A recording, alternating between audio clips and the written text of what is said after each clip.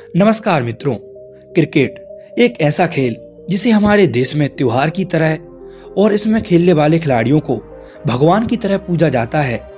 ये एक ऐसा खेल है जिससे लोगों के इमोशन जुड़े होते हैं। लोग क्रिकेट की दीवानगी में हद पार कर देते हैं। हमारे देश में लोगों के लिए क्रिकेट बस खेल नहीं, बल्कि हमारी ज़िंदगी का एक अहम हिस्सा है। भारत का बच्चा बच्चा किसी खेल को जाने या ना जाने लेकिन क्रिकेट उसके डीएनए में होगा। क्या भारत में क्रिकेट की बढ़ती दीवानगी हमेशा से ऐसी ही थी? क्या आज से 40 साल पहले भारतीय क्रिकेट बोर्ड इतना ही अमीर था? आखिर सन 1980 के दौर में भारत में क्रिकेट की हालत क्या थी? आखिर कैसे उस कमज़ोर इंडियन क्रिकेट टीम ने वर्ष उन्नीस सौ तिरासी में वर्ल्ड कप जीता होगा? उस दौर की पूरी कहानी सुनाएँगे आपको। बस बने रही वीडियो के अंत तक। आइए चलते हैं 40 साल पहले क्रिकेट के उस सुनहरे दौर में। दोस्तों, ये वो दौर था जब बीसीसीआई के पास खुद के खिलाड़ियों का खर्चा उठाने के लिए पैसे नहीं होते थे। कोई भी विदेशी क्रिकेट टीम भारत के साथ खेलने से कतराती थी, क्योंकि अभी तक दुनिया ने भारत में क्रिकेट की दीवानगी देखी ही नहीं थी। भारत ने अपना पहला इंटरनेशनल मैच 25 जून 1932 को इंग्लैंड के खिलाफ लॉर्ड्स के मैदान में खेला था। ये मैच टेस्ट मैच था। क्योंकि वनडे क्रिकेट, यानी एक दिवसीय क्रिकेट मैच, वर्ष 1971 के पहले अस्तित्व में ही नहीं था। 5 जनवरी 1971 को ऑस्ट्रेलिया और इंग्लैंड के बीच इतिहास का पहला one day international match Melbourne cricket ground में खेला गया था। दोस्तों, आज भारत में ऐसा कोई भी व्यक्ति नहीं होगा जिसने रणजी ट्रॉफी का नाम ना सुना हो। क्योंकि ये ट्रॉफी बहुत पुराने इतिहास की गवाह रही है। इस ट्रॉफी ने न जाने कितने महान खिलाड़ी भारत को दिए हैं। ये ट्रॉफी भारत के पहले क्रिकेट खिलाड़ी श्री रणजीत सिंह जी के सम्मान में शुरू की गई थी। रणजीत सिंह से इंग्लैंड क्रिकेट टीम को बहुत ही ज़्यादा लगाव था, इसलिए वो उन्हें रणजीत ना कह के, रणजी कह के बुलाया करते थे।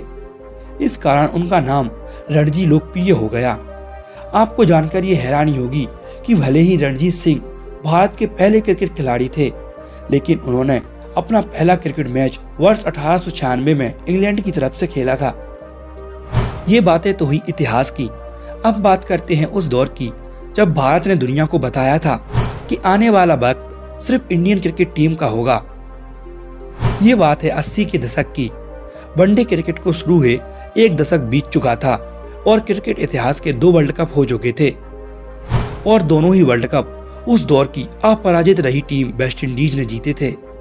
वो दौर वेस्ट इंडीज क्रिकेट का गोल्डन एरा माना जाता है, जहाँ ऑस्ट्रेलिया और इंग्लैंड जैसी टीमें भी वेस्ट इंडीज की बॉलिंग और बैटिंग के सामने घुटने टैग देती थी।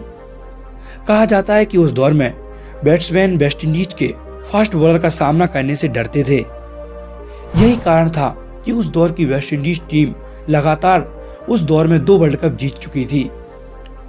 अब आया अस्सी का दशक और उन्नीस सौ तिरासी का वर्ल्ड कप। अब इंडियन क्रिकेट टीम के कप्तान सुनील गावस्कर नहीं, बल्कि महान ऑलराउंडर कपिल देव थे। ये इंडियन क्रिकेट के लिए वो दौर था जब भारतीय खिलाड़ियों के पास आज की तरह सुख सुविधाएँ नहीं थी, न ही इतनी ज़्यादा सहूलियत थी। जरा कल्पना कीजिए, उस दौर की वेस्ट इंडीज टीम के वो तेज गेंदबाज जो लगातार 150 की स्पीड से बॉलिंग किया करते थे, उनके सामने बैटिंग करना वो भी बगैर हेलमेट के क्या तकनीक रही होगी उस दौर के बल्लेबाजों की? आज भले ही बैट्समैन मैदान के चारों तरफ़ शॉट्स खेलते हैं, लेकिन उनमें वो तकनीक नहीं दिखाई देती। जो Sunil Gavaskar, Sachin Tendulkar Viv Richards Brian Lara Ricky Ponting इन सब में थी। क्रिकेट दिग्गजों का मानना है, अगर विराट कोहली उस दौर में पैदा हुए होते तो आज वे सिर्फ़ तीस पैंतीस शतक ही लगा पाते। अब कुछ तो खास बात रही होगी उस दौर की उस दौर में भारतीय क्रिकेट आज जितना अमीन नहीं था। हालत ये थी कि बीसीसीआई को अपना मैच टीवी पर प्रसारित करने के लिए दूरदर्शन को खुद पैसे देने पड़ते थे। बाहरी टीमें इंडिया में क्रिकेट खेलने से मना कर दिया करती थीं।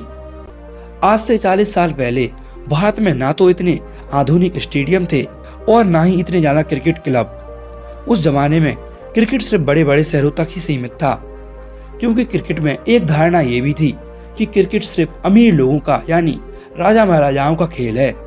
इसलिए 1980 के पहले भारत में क्रिकेट इतना लोकप्रिय नहीं था। ये सिर्फ़ मुंबई, चेन्नई और कोलकाता जैसे बड़े शहरों में ही खेला जाता था। भारत में क्रिकेट की लोकप्रियता साल उन्नीस सौ तिरासी से बढ़ी, जब उन्नीस सौ तिरासी वर्ल्ड कप की जीत ने पूरे भारत की तस्वीर ही बदल दी, जिसके बाद भारत में क्रिकेट का मतलब ही बदल गया। अब क्या हॉकी, क्या फुटबॉल, अब सिर्फ़ चारों ओर क्रिकेट की ही बातें हो रही थी।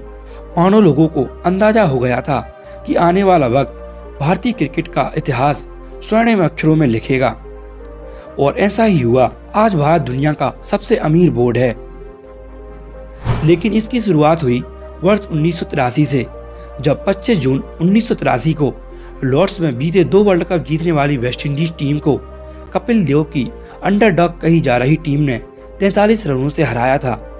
ये भारत के लिए किसी चमत्कार से कम नहीं था, क्योंकि उस दौर में भारत को क्रिकेट की दुनिया की कमज़ोर टीमों में गिना जाता था और उन्नीस के वर्ल्ड कप के बाद भारतीय क्रिकेट की कहानी ही बदल गई ये रही उस फाइनल मैच की कुछ खास बातें जो आज भी लोगों के दिलों में अनमोल यादों की तरह समाई हुई हैं।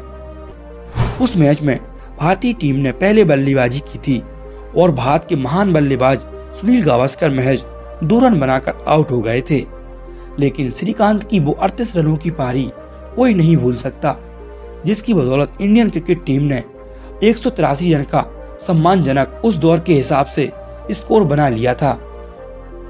अब भारत को कम स्कोर को डिफेंड करना था, इसलिए उसे शुरुआत में ही विकेट्स चाहिए थे। गार्डन ग्रीनिज उस समय के महान बल्लेबाजों में गिने जाते थे, लेकिन बलविंदर संधू ने उनको क्रीज पर नहीं जमने दिया और एक रन के निजी स्कोर पर चलता गया। अब भारत को जैसी शुरुआत चाहिए थी, वैसी शुरुआत मिल चुकी थी। लेकिन ग्रीनीज के जाने के बाद आए बीसवीं सदी के सबसे महान बल्लेबाज बिबियन रिचर्ड्स, जो क्रिकेट के इतिहास में ऑल टाइम ग्रेटेस्ट बैट्समैन में माने जाते हैं, उस 25 जून के दिन रिचर्ड्स भारत के सामने खतरा बन चुके थे। लेकिन कुदरत को कुछ और ही मंजूर था। कुदरत के आगे किसकी चलती है? टीम इंडिया के कप्तान कपिल देव ने एक असाधारण कैच से रिचर्ड्स का ऐतिहासिक विकेट लिया। मदन लाल की गेंद को रिचर्ड्स ने पुल किया और गेंद डीप स्क्वायर लेग पर गई।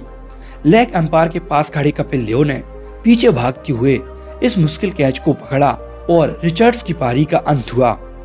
वह 28 गेंदों पर 33 रन बनाकर आउट हुए थे। मोहिंदर अमरनाथ, लाला अमरनाथ के बेटे थे, जो कि आज़ादी के पहले के, भारत के पहले कप्तान थे। मोहिंदर अमरनाथ उन्नीस वर्ल्ड कप के प्लेयर ऑफ़ द टूर्नामेंट रहे और पच्चीस जून उन्नीस को भी वही मैन ऑफ़ द मैच चुने गए। उन्होंने उस दिन तीन विकेट चटकाए थे, जिसमें से एक विकेट जेब डजन का इम्पोर्टेंट विकेट शामिल था। वह छब्बीस रनों की पारी खेल चुके थे और भारत के लिए खतरा बनते जा रहे थे। तभी अमरनाथ ने उन्हें बोल्ड कर दिया था। और यह bowled bowled of the century बन गया। इसके साथ ही अमरनाथ ने ही वो यादगार विकेट लिया जिसने भारत को विश्व चैंपियन बनाया। यानी वेस्ट इंडीज का आखिरी विकेट, अमरनाथ ने माइकल होल्डिंग को एल आउट कर वेस्ट इंडीज की पारी को 140 रनों पर समेट दिया और भारत विश्व विजेता बन गया। इसके बाद भारत का वो पल आया जब कपिल देव ने लॉर्ड्स की बालकनी में विश्व कप की ट्रॉफी उठाई और ये पल इतिहास में हमेशा के लिए अमर हो गया। और इसके बाद दुनिया ने भारत का क्रिकेट पर राज देखा और कभी पीछे मुड़कर नहीं देखा। भारत ने ही दुनिया को सचिन धोनी, रोहित और विराट जैसे सदी के सबसे महान खिलाड़ी दिए हैं। आज भी वर्तमान में भारत के पास दो सबसे महान खिलाड़ी विराट कोहली और रोहित शर्मा मौजूद हैं। दूसरी टीमों के खिलाड़ी इनके कोसों और दूर नज़र ही नहीं आते। आज भारत के पास ही दुनिया का सबसे बड़ा और सबसे अमीर क्रिकेट लीग आईपीएल मौजूद है।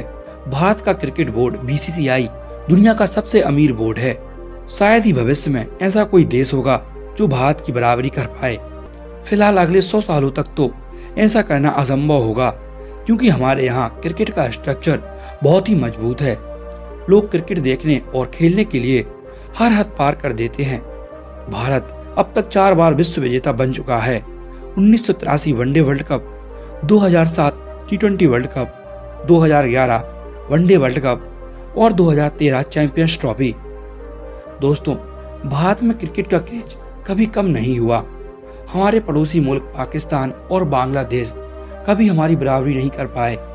ये तो दौर था, क्या पता आगे क्या होगा। आज विराट कोहली और रोहित शर्मा अपने कैरियर के अंतिम पड़ाव पर हैं। क्या पता अब दोबारा इन जैसे खिलाड़ी भारत को मिलें या ना मिलें।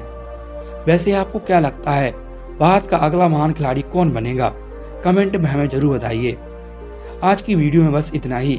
वीडियो अच्छी लगी हो तो चैनल को सब्सक्राइब कर लीजिए और वीडियो को लाइक कर दीजिए। मिलते हैं आपको ऐसी ही अपनी अगली वीडियो में। तब तक के लिए धन्यवाद।